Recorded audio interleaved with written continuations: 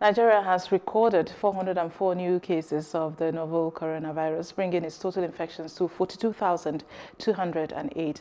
This is according to the nation's top disease control agency. In a tweet on Wednesday night, the Nigeria Center for Disease Control noted that eight more persons have died from the virus as recovery numbers hit 19,004.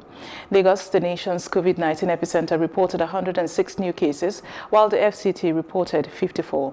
Other states with new cases include Rivers 48, Plateau with 40, Edo 29, Enugu 20, Oyo 20, Kano 18, Ondo 15, Ogun 10, Ebonyi 9, Ekiti 8, Kaduna 6, Cross River 5, Kwara 4, Anambra and Delta 3 respectively, Imo and Nasarawa 2, and Borno 1.